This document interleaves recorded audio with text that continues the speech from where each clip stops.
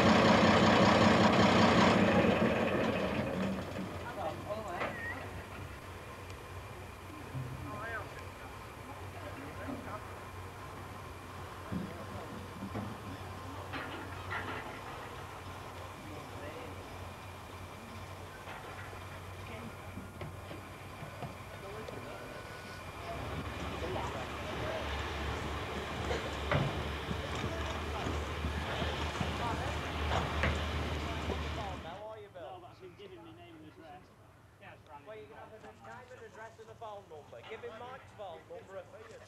Oh, no. Yeah. Just for your reference.